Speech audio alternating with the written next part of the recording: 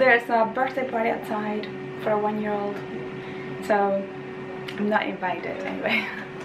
So I want to show you today my most loved luxury purchases and the ones that were a total disaster and I regret them so so much. Let's start with my most loved pair of shoes and I would have to say the Louboutin Simple Pump it's called and it's right underneath. I added the red sole that you can buy and add it yourself so it doesn't get damaged and it looks more red than normal. And this one's are slightly less than 100 millimeters. This body is going crazy. And mines are in patent nude. And it's nice to have patent because they don't get damaged so much. They are like harder um, and they're super shiny. And this is I mean people talk about Louboutin being so uncomfortable but these ones are incredibly comfortable. And it's so nice to have the Louboutin red soles with the nude. I mean this go with everything. And I've been I've been wearing them a lot. I mean I was reading in Selfridges and it says According to Monsieur Louboutin, this is the shoe every woman should own, rounded at the toe with a sturdy stiletto. The classic shape allows you to seamlessly transcend from one season to the next. I think that says it all. And in my uh, life, in my practice, I've been wearing these a lot. I love them with jeans, I love them with dresses. They're great for weddings because it's such an amazing shoe. Love. On the same note, and going with the kind of similar situation, I bought these Jimmy Choos and these are so high and I thought it was a great idea. I was dating at the time a super tall guy and I thought it would be cool and sexy to want to wear these no. I cannot wear I cannot walk. I mean these are great for like if they drop you from uh, the car and then you have to just stand you know and can't even walk to the restaurant because my I guess my legs don't my ankles don't bend enough to wear these even though they have um, a platform. So don't buy shoes. You cannot walk on them. I mean the best idea is to walk a lot in the, in the store in the shop try them well. I bought these online so that's a problem maybe. So try your shoes really well. I mean I had other Jimmy Choos that they are amazing and super comfortable and loving. Um, just you know I, it was a long shot. Now another favorite would be this Gucci boots.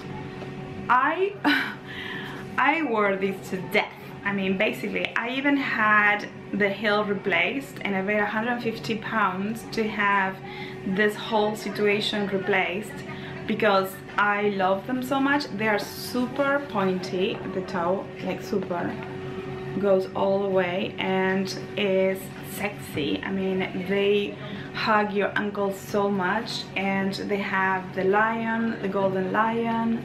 They go with everything as well. They have that gold heel. They are super comfortable on inside. They're like so gold. I mean, you can even fold this if you want to. I mean, it's just beautiful. I love them so much. I would die if they, I mean, I think that they would last forever if you keep uh, taking care of them. I mean, they're a little bit wear at the toe, but I love them. This is one of my best purchases. Cost per wear is cents. So I love them very much. Now going into worse shoes, I would have to say this Tory Burch uh, pumps. I mean they look they're so luxury. I have this for a while now. I should sell them now. But they have the gold and the animal print and the animal print has like fur. It feels like real although it's not real. But they're so they hurt here. I mean they hurt they're so narrow. I try to stretch them but they just they're just painful I mean my feet are a little bit wide so that maybe it's a little bit painful but I mean, I regret them because they are just uncomfortable to me. So, you know, it's difficult. I love the shape and I love the idea. It's just uncomfortable. Now going back again to my most favorite ones, I would have to say my Gucci Ace. I love them. I mean, they're just such a piece of art. I mean, if you know me, you know I love flowers and I love birds as well. And these are well they're the classic one. From the inside it's just a classic one but on the outside is the flowers and I love them. I love them. They're super comfortable. They're just a piece of art. I mean you had to be minimalist on top. I have a video about how to uh, style these now going into worst I think this is one of my worst worst surprising purchases because because I love Gucci and I thought this shoe was the perfect working shoe. If you see it has a heel that is not too high so I wanted to wear these to go to work to kind of spice up my outfit with a little bit of the Gucci logo on the side. But every time I wear these this kind of plays a role into I don't know, it just creates this vent and it makes my shoe kind of slide out. And I sent an email to Gucci saying, why? Why? What did you do? Why you didn't test this shoe? And they replied like, go back to your Gucci shop and talk to them. And well, I already wore them and I bought them at Nordstrom and I was, I, it was during a trip. So I, I wasn't able to go back and I spent $700. I was angry at the fact that I cannot wear these. I don't know if anyone knows how to fix this because I love the shoe. I mean, the shoe in itself is really cute, but it just kind of slides out, which is really weird because I had other sling slingbacks. So if this happened to you and you fix this, let me know. now going into the best, best shoe ever, I would have to pick these, which I also love very much. These are my Chanel ballet flats. And did you know that Coco Chanel had really long feet?